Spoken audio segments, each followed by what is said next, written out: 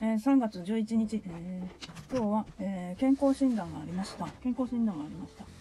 で、今までで一番、あの、健康診断の日以外はまた体重が減ったりするんだけど、その健、ほら、健康診断って何月何日ですって決められちゃうじゃん？病院側から。そしたら、その日に痩せるなんてちょっと難しいのよ。で、あの、なんだろう、1年に1回か。2年に1回かな。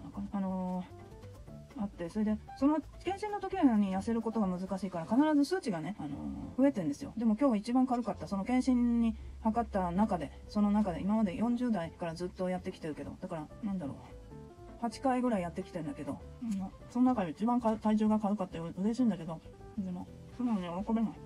だって、いつもさ、頑張っててさ、減らないんだもん。みんなさ、周りの女の人、針金のような足じゃんもうそれがもう羨ましくて羨ましくてさ、この人生。だけど自分はそうはなれない。痩せ、一番軽かった今でさ、決して針金のような足ではないっていうこと。現実だからね。これね、メンチカツ丼なの。メンチカツ丼食べてます。で、なんかもう仕方ないの。今日のラッキーメニューがメンチカツって出てるから。うん、昆布美味しい。硬い昆布をね、煮物とかそういう火を通しすると、なってすごい美味しい。しかしさ、ニノのさ、女の子が生まれたんでしょ？羨ましいね。ニノの相手が羨ましい。あと、なん、なんていうか、ニノ好きだ、また嵐は嵐で好きだからさ、別に。キャムシェードが好きでも嵐も好きだからさ。で、その中では、ニノがいいからさ、ショックだよ。やっぱりアイドルだもん。自分の中で。ニノはニノなのにさ、人間らしいことして嫌になっちゃう。ほんとつらい、つらいよ。ほんとつらい。発車します。音楽えっ、ー、と今日は3月の22日。何でもない日です。誰の誕生日でもない日。でもこれ賞味期限が今日なのでこの賞味期限これ見て3人に。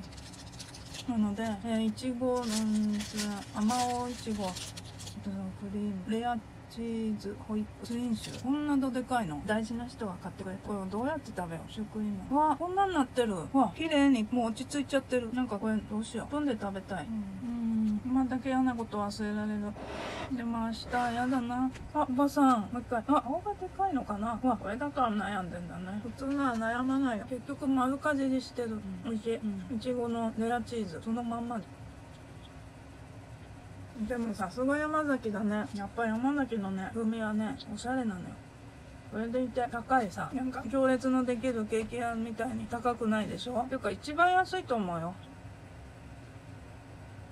私が大好きなこの世で埋もれて死んでしまいたいぐらいあの全国のいちごショートケーキを、えーと、毎週、えーと、1週間おきに届くあの各地の有名なショートケーキがホールでそういうのが無料でできてって言ったらもう死んでもいい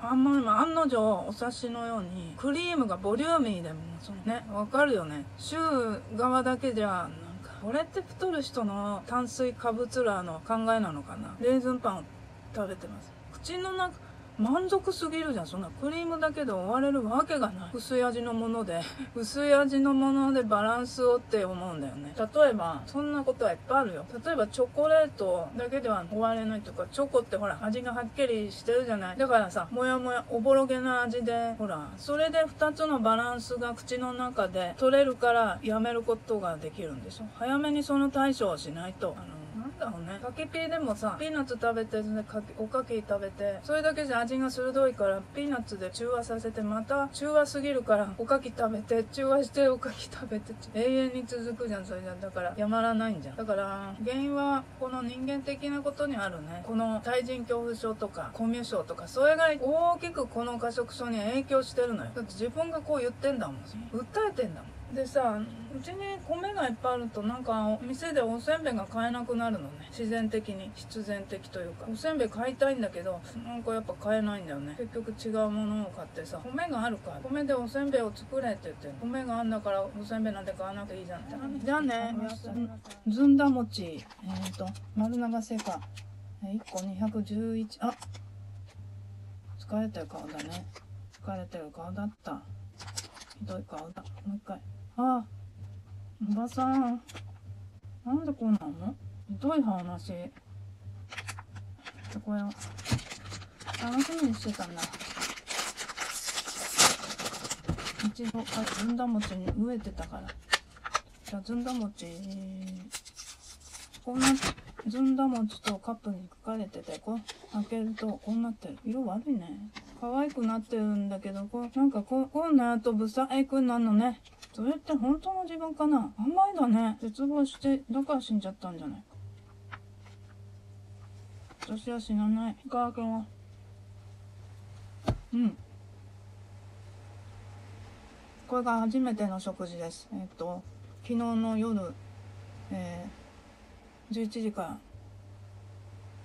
ら、えっ、と、ブラックコーヒーだけで過ごしました。あ、でも、そんなことない。うん。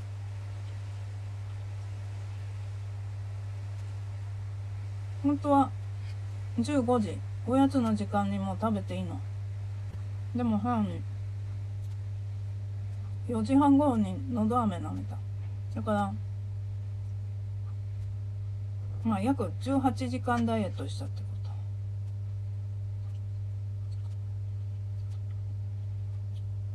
実は漢方をね昼頃飲んでね。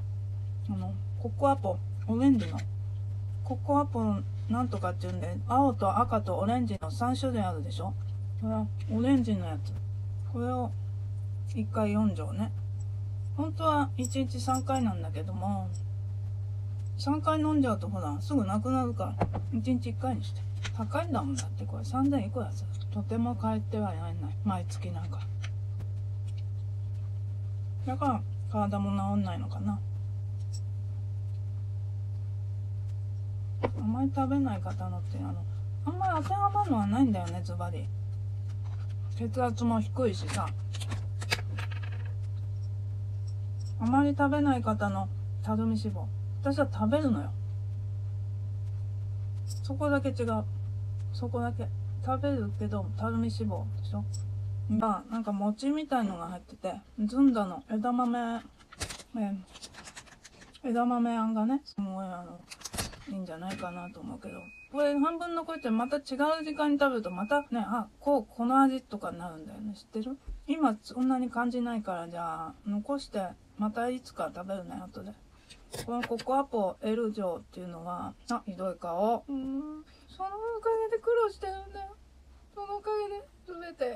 人生棒に振ってお金なんかない。だって働かせてもらえなかったから若い時。その顔のせいで働く勇気なんかないから、雇われても自分から辞めたそうにして辞めさせるように持ってくっていうね。体力中等度程以下で疲れやすく、汗のかきやすい傾向があるものの次の症状、肥満に伴う関節の腫れや痛み、そう、むくみ、多汗症、汗が多い。当てはまんのかも。筋肉に締まりのない、いわゆる水太り、コーヒーを飲むと、すごくトイレに行くのよ。そのたんびに、ものすごい出るってことは、逆に考えれば水太りなんじゃない？水太ってなければ、おしっこなんか出ないんじゃない？そうだね。そうだ。ってだらだら食べちゃってるよ。食べ進んじゃってる。うどんね。玄関入ってた。あんまん。この顔、変だね。ひどいね。